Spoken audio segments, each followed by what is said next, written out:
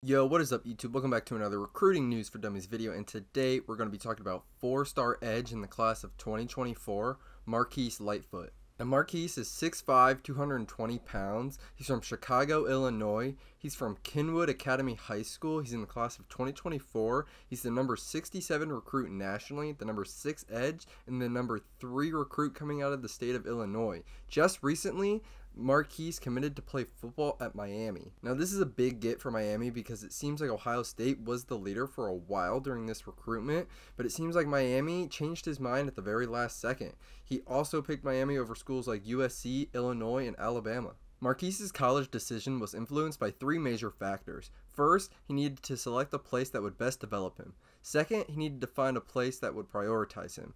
Finally, the most crucial, he needed a school where he could feel at ease for the next three to four years. This is what Lightfoot had to say. Miami stood out with what they offered on and off the field. They showed me that I can still live my life as a teenager off the field while focusing on my career, which is the ultimate goal of going to the NFL.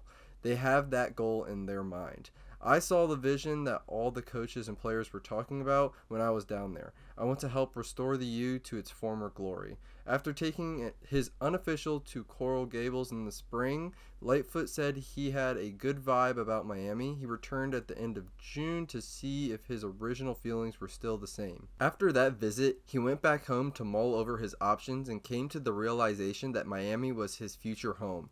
It became hard having all these top 10 schools in my face, said Lightfoot. I just sat down and asked myself what would be the best for me instead of trying to please other people. That was Miami. Yo, thank you guys so much for watching another video. Let me know your thoughts on Marquise down below. Let me know your thoughts on him committing to Miami. Don't forget to like, comment, and subscribe, and hit that notification bell to get alerts on every new post. And I'm out. Peace.